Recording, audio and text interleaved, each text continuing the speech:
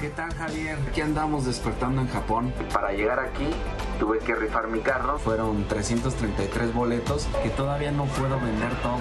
Con esto México está asegurando la plata en Fukuoka. La medalla de plata del Campeonato Mundial de Fukuoka 2023. Es la primera vez que se gana en la historia en esta prueba nueva y que se vendan más boletos de mi carro para poder regresar porque si no ya no hay nada que rifar.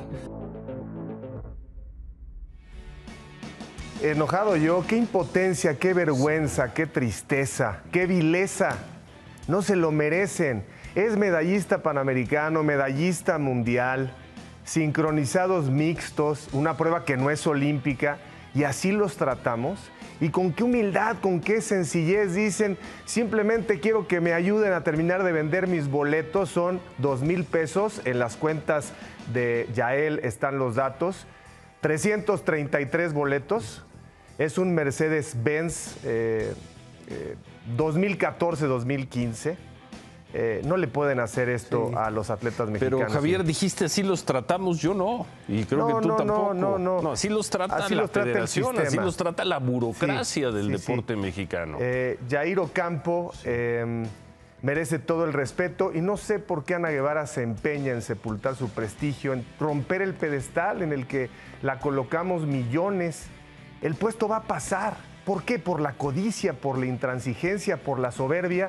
Recordemos que estos atletas, uno los paga el COM, otro World Aquatics, pero como no es prueba olímpica, entonces este y otros a, a su suerte, por un sueño.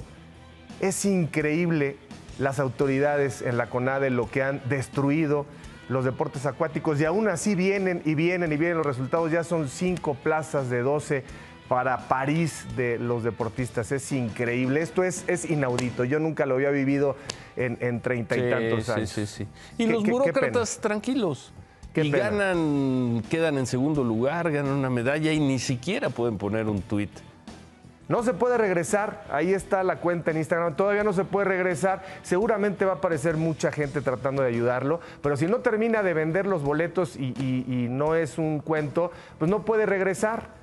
Ahí está la cuenta de Instagram de Jair Ocampo, para que pues todos le podamos ayudar y participemos comprando Qué eh, cosa, el qué boleto, historia. ¿no?